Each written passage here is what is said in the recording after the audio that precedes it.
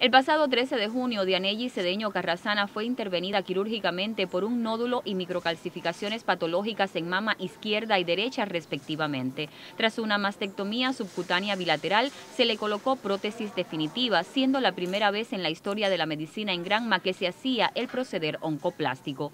Pese a lo complejo y dilatado de la operación, la paciente evoluciona satisfactoriamente no hay inflamación, no hay dolor, no hay dolor espontáneo, sí a la palpación que todavía puede existir porque estamos en la primera fase de la cicatrización.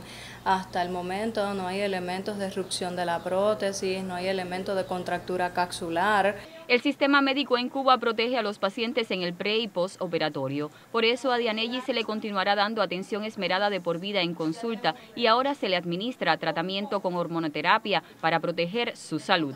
Todo el tratamiento, el seguimiento es sin costo alguno para la paciente, no así para el país. Las prótesis cuestan, los tratamientos, la hormonoterapia, que es lo que ella va a llevar, cuesta en el mundo entero. Me siento orgullosa de mis médicos, de mi país, con haber sido esta operación de gratis, en otros países ya hubiera sido otras cosas.